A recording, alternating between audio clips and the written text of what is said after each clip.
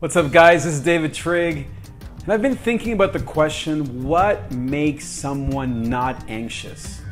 You know, we hear a lot about people that are dealing with anxiety, and you might be somebody who's been told, or maybe you feel in your body that you're an anxious type. But instead of asking the question of what makes you anxious, I want to talk to you about what makes us not anxious. You know what I'm saying? Because instead of focusing constantly on our problems and on the things that make us worry and answering people's questions about what anxiety is and what it isn't. We need to focus on the positive things in life, the things that we actually long for. Who longs to be an anxious type? I don't. Who longs to just simply live the rest of their lives trying to be less anxious? Nobody. You and I want to actually live lives of adventure, lives of joy, Lives of what I like to call here lives of gozo, which means joy. And so, what are the things that make someone truly come alive and truly live a life of not anxiety? Well, I think there's just simply one big, huge thing that's worked in my life, that I know for many of you has worked in your life, and that there is no doubt in my mind that it's the one thing that we all need. And it starts with the letter A, and that's the word adventure. that's it. You need to discover your God given sense of adventure. And I know that maybe you're saying, I don't know what my adventure is. I maybe I tried to live out my dreams and it didn't work. My business failed, my music career never took off. I tried to be a, you know, to start my own company, my own business, and it just went bankrupt. But that doesn't matter. You know how many times I have failed at a bunch of things, whether it's in business, whether it's in, in my own uh, career, in education, so many obstacles along the way that could have made me stop and that really made me anxious. But instead of letting those things become the end of my life or be the end of, of all things for me, instead, I focus once again on my adventure. And what is adventure? What does that mean? Well, what I mean by adventure is that is that childlike dream that you had when you were a little boy, a little girl. And I know that for many of us, that seems to have been years and, and like an, even another like world. Like you don't even remember what that was. But I want to tell you that's still in there.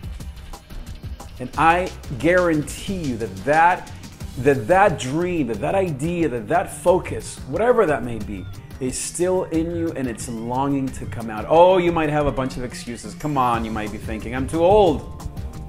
I have no money. I failed. I don't have the education. I don't have the right tools. The, everyone tells me that I'm a failure. I myself, you might be thinking, feel like I can't do this. Why try it again? Like to to fail again? I know exactly what you mean, and all of that are simply lies. You know how many people live that way? That's why they're anxious, because they've given up on their own dreams. You and I need to rediscover that sense of adventure.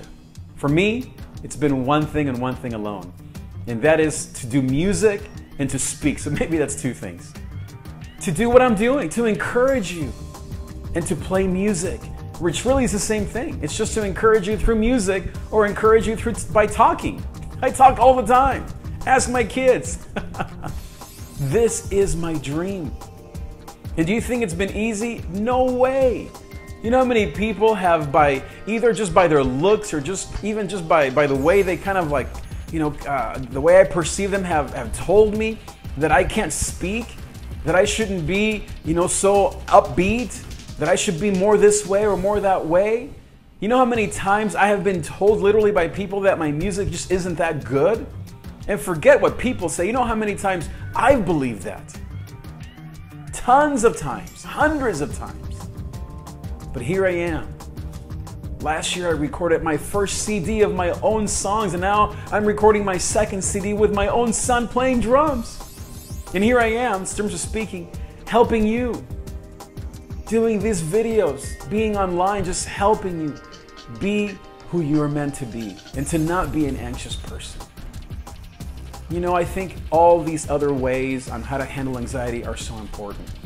And there are going to be more videos coming up in the next few weeks and months to help you understand more about anxiety. But the thing that I want to tell you is live your God given adventure. Take time to think about what is my adventure. And if it takes you weeks, maybe even months to come up with that, take your time. And if you can't even come up with it after, after a while, ask someone that you love. Ask someone who loves you, what do you think is my great adventure? I'm convinced that if you focus on that and you stop living just to not be anxious, just simply to not be worried or to you know try to cope with your with your fear your depression that instead if you live a life of adventure and you take time to think about what that is and to then take steps, no matter your age, no matter what obstacles, to actually live that out, that you truly will be living what I like to call a life of gozo.